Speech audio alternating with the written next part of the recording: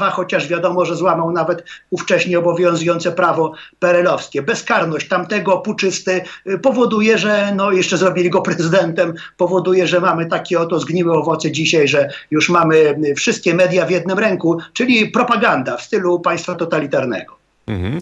Y, Mówi pan, prezydent powinien się temu przeciwstawić. No pytanie jak, w jaki No sposób? ależ panie, panie redaktorze, pan prezydent jest głową sił zbrojnych, odpowiada za bezpieczeństwo państwa polskiego. W tym momencie wojsko powinno przejąć władzę i przywrócić demokrację. To, co mamy do czynienia z tym antypolskim spiskiem realizowanym na polecenie obcych stolic, no to jest rzecz haniebna, nieznana od czasów XVIII